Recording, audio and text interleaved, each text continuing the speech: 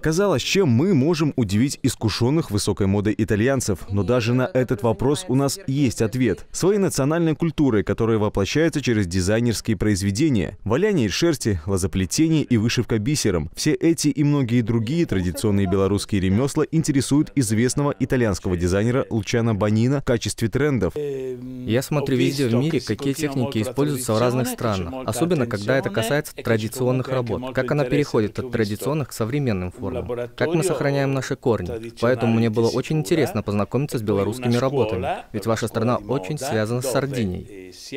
Маэстро не случайно прибыл в Бобруйск. В июле нынешнего года делегация наших мастеров приняла участие в международной выставке художественного ремесла в Магора. Любители хендмейда представили свое творчество и ознакомились с традициями Сардинии. А после посетили мастерскую знаменитого дизайнера. Теперь он сделал ответный визит. Есть материалы, которые меня очень интересуют. Солома, леон в шерсть, которые, я уверен, мы можем использовать на современной одежде в виде аксессуаров. Вот как раз в ходе этого визита я хочу видеть, что я могу использовать в своей новой коллекции. Меня интересуют именно белорусские материалы.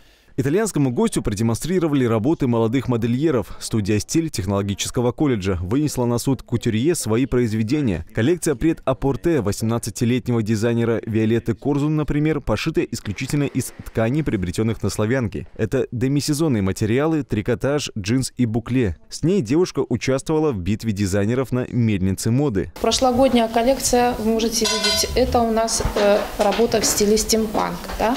Значит, цветовая гамма, Значит, использовались украшения мощные в техническом стиле, в стиле стимпанк. Следующей точкой в модном визите стало посещение гиганта легкой промышленности открытого акционерного общества «Славянка». Там Лучано Банина познакомился с процессом производства и вспомнил свою фабричную юность. Начинал он со швейной машины, а сейчас сотрудничает с ведущими домами моды Европы. Гость признался, он обязательно вернется в город, который так запал в душу. Максим Кембель, Максим Галеонко, Бобруйск, 360.